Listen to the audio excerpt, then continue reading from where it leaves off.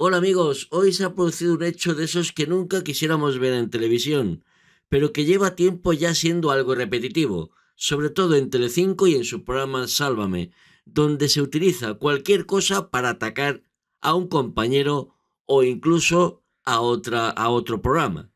Ha sucedido con Jorge Javier Vázquez, que lleva unos días irascible, sobre todo desde que Marta Riesco la semana pasada levantara la liebre explicando que había sido llamada por teléfono por ni más ni menos que Rocío Carrasco, a través del, a través del director de la revista Lecturas, que le iban a proponer algo muy interesante.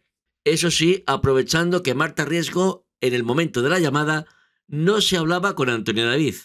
Y es que todo parece indicar que la propuesta que se le iba a hacer a Marta Riesco era que interviniese en el homenaje concierto que se le va a dar a Rocío Jurado este mes de mayo en Sevilla. Pero según contaba la propia Marta Riesco y ayer en su programa Antonio David Flores, esa no era la intención de la llamada de Rocío Carrasco, sino dejar en evidencia la traición de Marta Riesco a Antonio David Flores.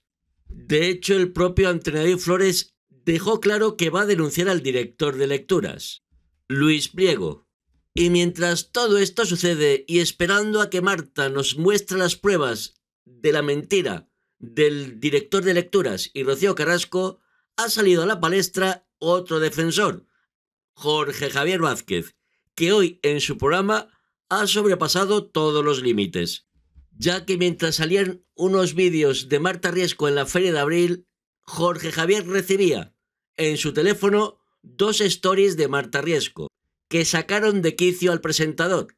Este señor lleva 25 minutos de acoso a mi persona, insultándome, vejándome y pidiendo mi despido, todo por haber contado la verdad de una llamada, una verdad incómoda. Llevo dos bajas médicas por acoso de la fábrica de la tele. Jorge Javier, los que me estáis poniendo de loca eres tú. Me has llamado trilera, cenutria y que me vais a echar y que me queda poco. Algo que, como decimos, sacó de quicio al presentador que se levantó de la silla donde estaba y mirando a cámara dijo que Marta no se preocupase, porque ¿sabes lo que vamos a hacer? Llegados a este punto, yo creo que la cadena tiene que tomar determinaciones. Y entonces, si tiene un presentador que acosa a una redactora, creo que lo mejor es que el presentador se vaya hasta que se solucionen las cosas.